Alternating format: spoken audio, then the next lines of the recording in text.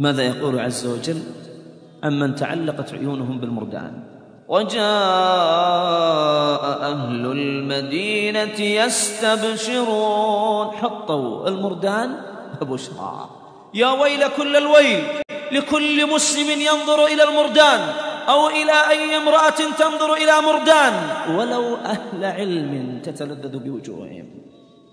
فكم حصل من العشق والنحل في الأجساد عقوبة من الديان لأنها فرغت من غير الله وملئت بما سواه جل في علاه. والله ليس هذا الحب الحقيقي. والله ليس هذا الحب الحقيقي. والله لا, تستحق الدموع أن تخرج لمن ستأكل الديدان أعينهم وخدودهم لمن تخرج الأبوال والحيل من أقبالهم وأدبارهم رجالا ونساء. وهذه القصة يقصها أحد مدراء السجون وقد قدم ورقة استقالته فقال له أحد الدعاة إلى الله كيف تستقيل قد نفع الله بك الرجال والنساء؟ قال قد سلمت إلى السياف الذي يقص الرقاب ثلاثين رأس رجل امرأة. آخر امرأة هي سبب استقالتي. تزوج رجل مترف امرأة مترفة. وكان رجلا ديوثا لا يبالي أن تصافح امرأته أي رجل ابن عم أخوه الحمو الموت الحمو الموت الحمو الموت. أو تضم أو تركب الديوث لا يرح رائحة الجنة. رسول الله صلى الله عليه وسلم ما يقول لأن يضع أحدكم في يده المغزل. خير من أن يضع يده في يد امرأة. وفي رواية في رأسه. والتقي النقي من قال قلبي وإيماني وما علم أن حتى نفاقه في قلبه وزندقته وكفره. فلا حجة لك أن تشير إلى قلبك. ما دام ظاهرك غير الصلاح. وتصافح تقول أنا كبير سن وهي كبيرة سن لكل ساقطة في الحي لاقطة. ولا بعضهم نعوذ بالله من شر سوء الفقه. تضع جلال أو قماش أو قفاز على يده وتسلم. نعوذ بالله. واليد تزني وزناها البطس كما قال رسول الله صلى الله عليه وسلم. تزوج المترف المترفة. والديوث تلتك التي لا تستحي من الله ولا تقيم شعائر الله. يقول مدير السجن فخرج بينهم طفلة بريئة لا تعلم شيئا من الدنيا بل كانت لربما ظنت أن الإسلام جنسية ليست ديانة. فلا إله إلا الله كبرت الفتاة وأصبحت كأمها في الشر وفي جلسة مليئة بلعنة رسول الله صلى الله عليه وسلم جلسة خمر. كانت تلك الفتاة البريئة الصغيرة التي من ذانيك المترفين الأبوين البعيدين عن الله المغترين بأموالي وإذ بالفتاة بين مجموعة من الرجال وكؤوس الخمر توزع فشربوا إلا هي لم تشرب.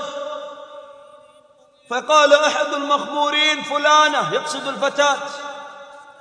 فلانة قد فعلت فاحشة الزنا بأمك فقامت وحملت رشاشا من أحد الموجودين ورشت القائل وخرقت جسده فهرب الباقون كالجردان. بل الفئران هربوا وبقيت هي والجنازة.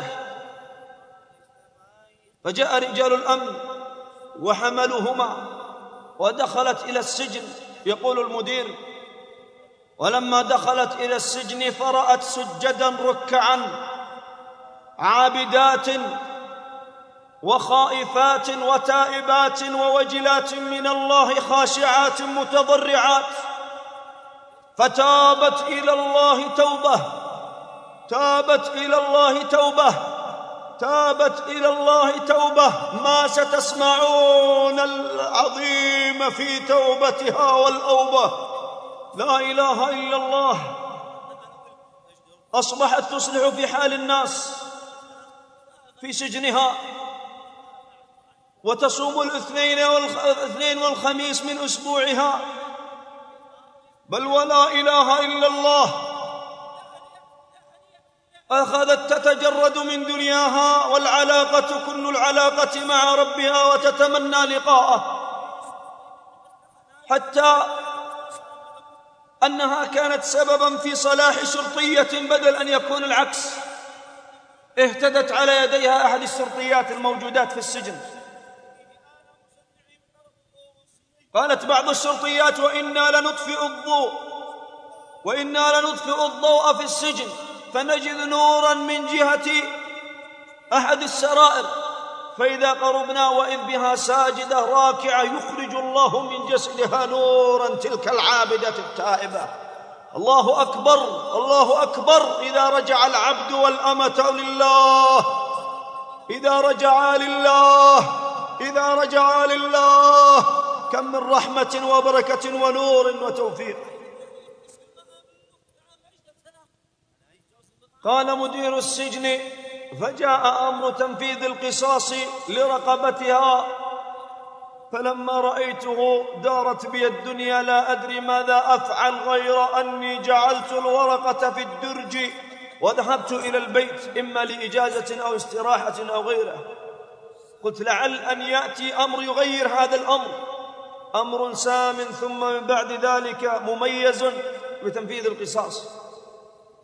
وأخواني وإخواني وأخواتي كل من صفى حبه لله لا لدعاة ولا لطلاب علم فضلا عن فاسقين وفاسقات ومغنين ومغنيات وفاجرين وفاجرات.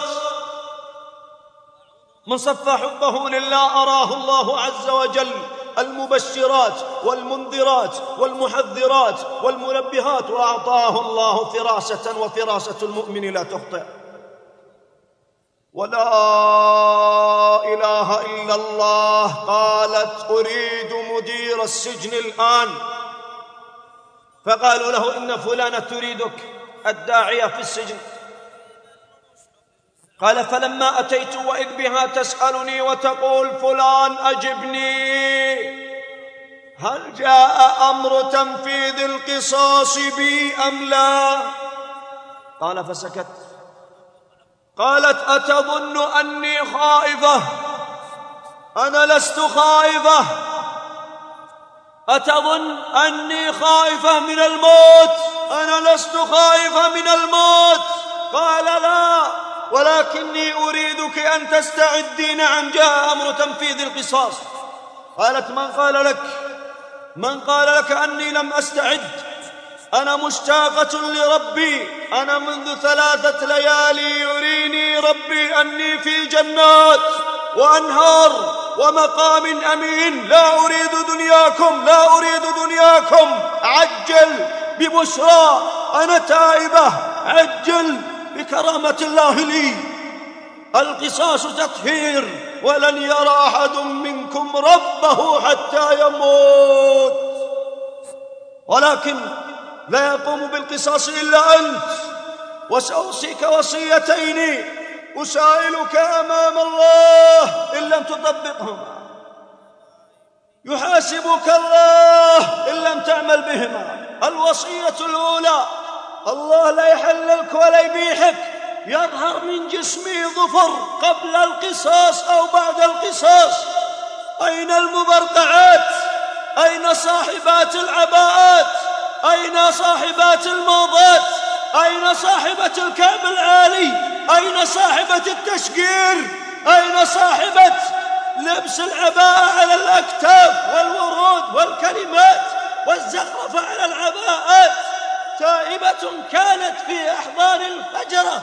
فلما تابت وخافت من الله وعرفته وصدقت معه وأحبته وفرغت حبها من أي أحد إلا منه جل جلاله وتقدست أسماؤه قالت لا يخرج من جسمي ظفر قبل القصاص أو بعد القصاص. لا إله إلا الله. والوصية الثانية أريد أن أرى الناس وأرفع يدي بين يدي الله جل جلاله وأدعو بدعوات أوصلها لوالدي أحدهما اللذان قد ضيعاني. قال مدير السجن وفي تلك اللحظات رأت الناس قبل قصاصها بلحظات وإذ بها ترفع أكف الضراعة وتقول سبحان من جمعهم اليوم وسيحشرهم غدا. رفعت يديها وقالت حسبي الله عليك ونعم الوكيل. حسبي الله عليك ونعم الوكيل. حسبي الله عليك ونعم الوكيل. قال مدير السجن ومن بعد القصاص وإذ بطالبات العلم والداعيات والصالحات والتقيات كلهن يتنافسن أيهن يغسلها أولا من عظيم ذاك النور الذي رأوا في جسدها وتلك الابتسامة التي تعلو محياها وتوبوا إلى الله جميعا أيها المؤمنون وتوبوا إلى الله جميعا أيها المؤمنون وتوبوا إلى الله جميعا أيها المؤمنون لعلكم تفلحون.